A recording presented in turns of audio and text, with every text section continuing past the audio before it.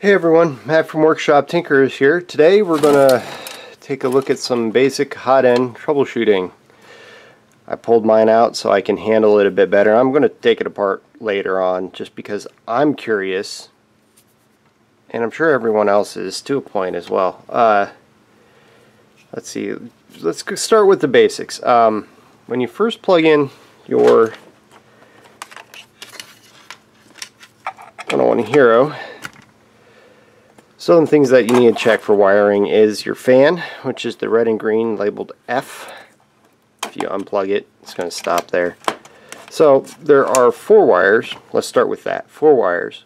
Two of which are easily identifiable. The other two we can have a decent guess at.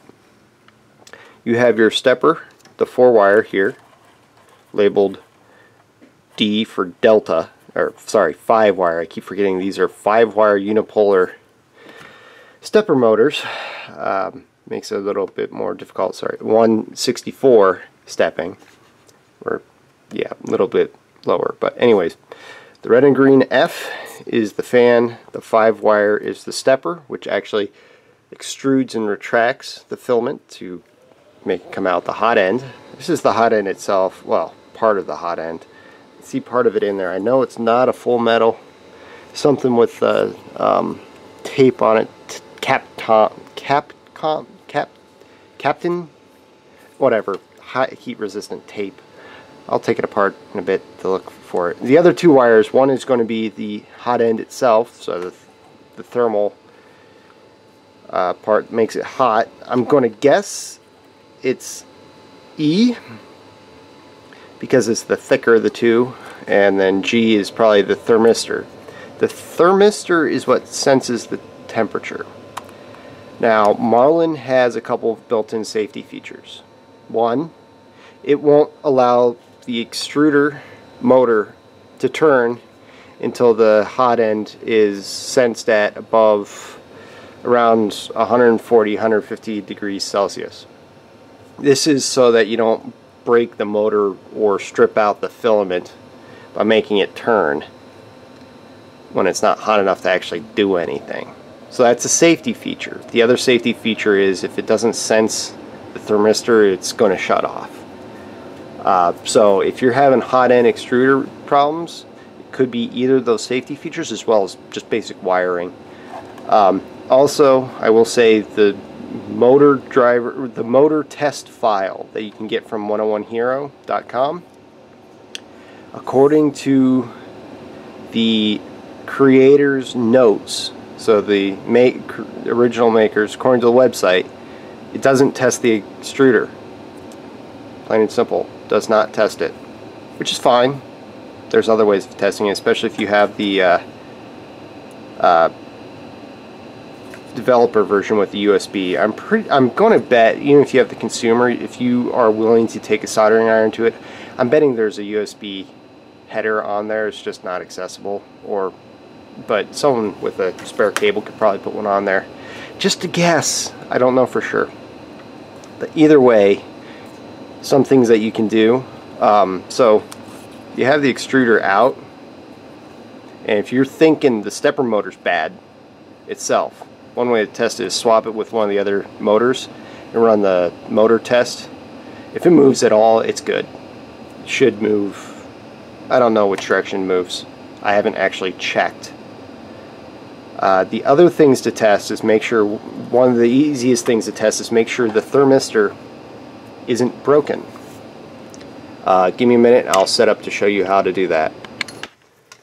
Okay, I'm rather glad I did that off camera.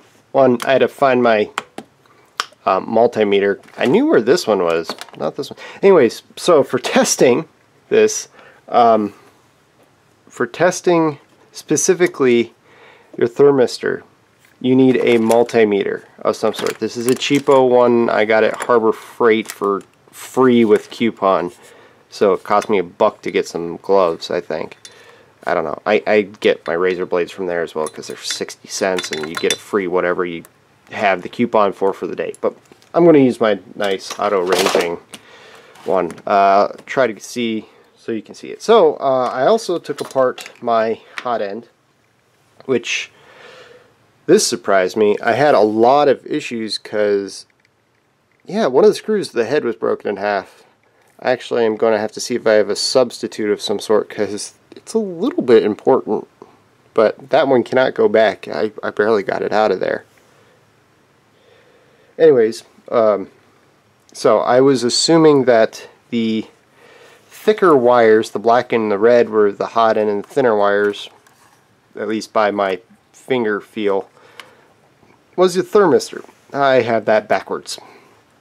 The black and red is the thermistor, the reds are the hot end. As you can kind of see here, the red ones actually have the thermal protection, whatever little bit of stuff, and the other part doesn't, and that is actually makes a lot more sense. So what you have in here, let's see if I can pull it the whole way out.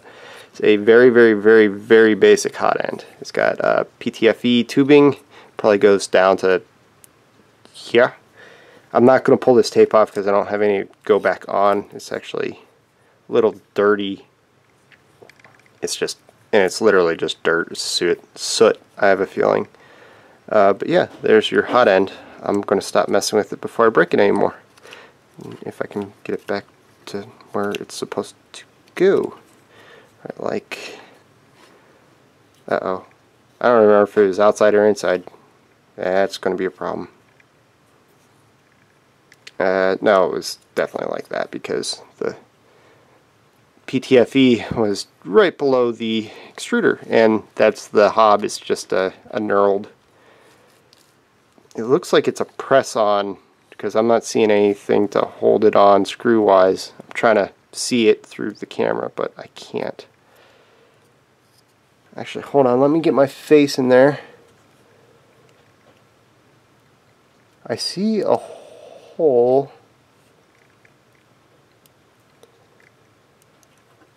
Yeah, I think it's just a press-on fitting. Alrighty, fun stuff there. uh, wires are pretty close, but that's far enough. There's no way that this is going to move. It's actually bolted, well, screwed, whatever. There's actual, that's the only metal screw insert in the whole thing that I've found so far. And I think I've taken apart every screw so far. so these are the only ones with the insert. It's probably because it was torquing itself out. Anyways, on to the testing. Multimeter, ohms, resistance.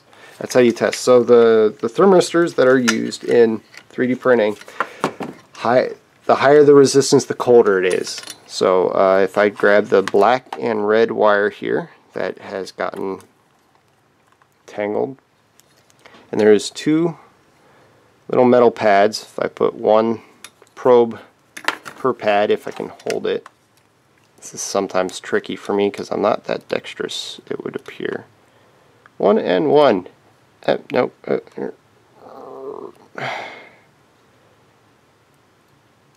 course I'm using my bum pinky. Okay, so 102,000 ohms. And according to the sheet, here I'll show you what I'm talking about. And uh, zoom, zoom, zoom. Zoom, zoom, zoom. There we go. According to this sheet, 100 degrees Celsius is going to be hitting 10,000 ohms. And it is uh, not logarithmic, what am I thinking of? Exponential. I think that's exponential. Or something. It's not linear. It might be even worse. Anyways, uh, so it's hitting 10,000 at 100. 100,000, yeah, it's 18 degrees Celsius roughly in here to give you an idea. So, and it's actually pretty accurate. Uh, according to the readout through the software. So that's one way to tell if this is, if you're getting nothing when you touch, for sure touching both, your, therm, your thermistor's broken because you should be getting a pretty high resistance when it's at room temperature. And the hot end, just out of curiosity, but uh, it should get really low if I remember right because it is a it's the same type of heater that's in your toaster. It, you put current through it, it gets hot through resistance. but it isn't that high.